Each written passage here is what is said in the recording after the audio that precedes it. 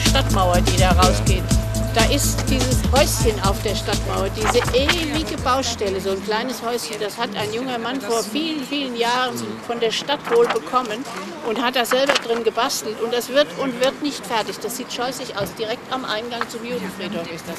Dass wir da nicht mal ein bisschen Druck machen. Was heißt immer Druck machen? Also die, die Frage ist, äh, was wollen die Eigentümer äh? Wir haben nicht viel. Leute mit Gehbehinderung können nicht queren, müssen den großen Umweg hinten machen um rüber in, in, nicht in die Neustadt, Entschuldigung, Richtung äh, Braunfurter Straße zu kommen. Also das muss man mal beenden, be, be, verändern. Da gibt es in vielen Städten gute, gute Lösungsvorschläge, die kompliziertere Kreuzonen haben, wie diese hier. Dass hier auch viele Fußgänger sind in dieser Zwei Stadt. schöne Fachwerkhäuser, die es sehr nötig haben, mal wieder angestrichen zu werden. Auch das Holz hat es sehr nötig. Und wir hatten früher mal bei der Stadt, das ist aber Jahre her, ich weiß das noch aus meiner Zeit im Bauamt, wir hatten einen Baukontrolleur. Der hatte nichts anderes zu tun, als die ganze, den ganzen Tag durch die Stadt zu gehen und solche Dinge aufzuschreiben. Wenn jemand auf die Idee kam, sein Haus mit so einem Kanariengelb anzustreichen, wo oben ein schönes Fachwerkhaus ist. Das ist garantiert nicht genehmigt worden. Aber es sieht keiner, weil die Herrschaften ja nicht durch die Stadt geht.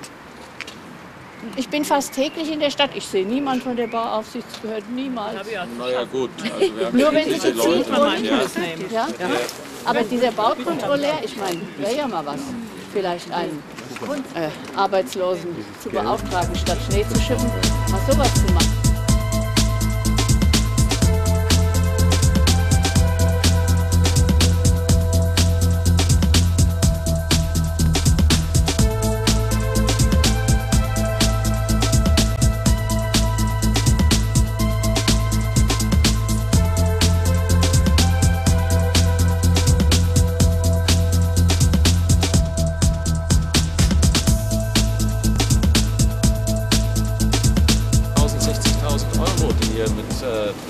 Hängen mit. Ja? Aber hier muss man natürlich Also, sagen, da geht auch die Bausubstanz kaputt. Ja, ja. Also ich sag mal, heute 50.000 investieren wenn man es morgen nicht oder Denn es ist ja nicht nur unten, es ist da oben auch. Also Sag mal, ich weiß nicht, die, wir, wir stehen unter, unter Haushaltssicherungskonzept.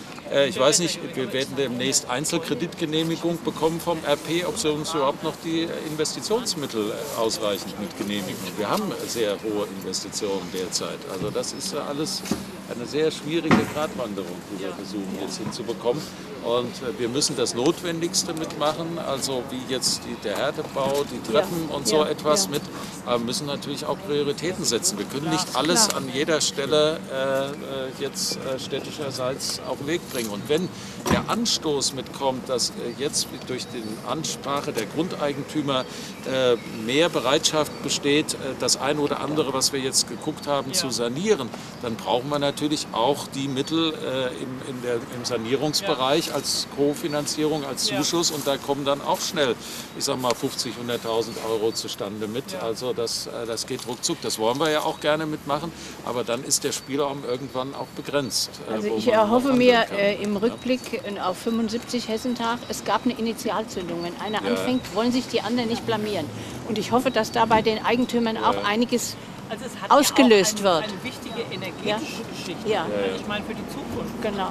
Ja, Aber da gab es eben toll. noch mal also auch den Hinweis, dass zum Beispiel in Butzbach im Zuge des Hessentages die Banken äh, äh, Sonderkonditionen äh, für Kredite gegeben haben, wenn im Zusammenhang des Hessentages die Fassade renoviert wird.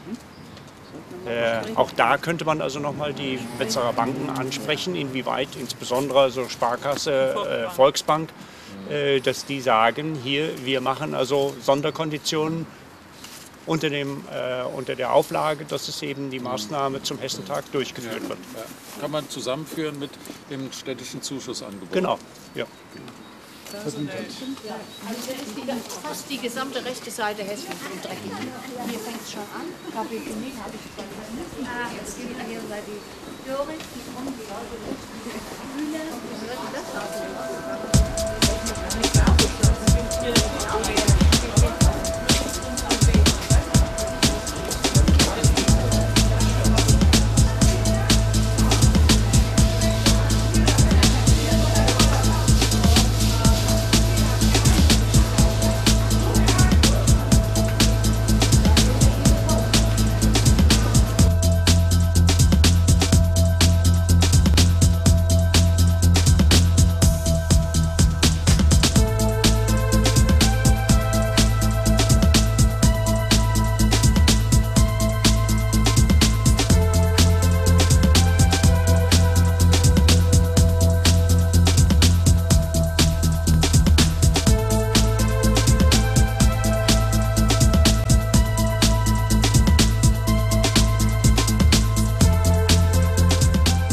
Schlüssel, der CWS-Schlüssel oder wie der heißt, Sie wissen, was ich meine, Ja.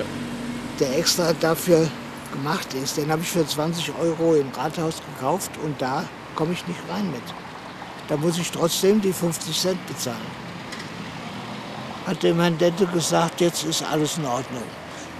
Ja, es hat es nur geschafft, mit den 50 Cent das zu schaffen.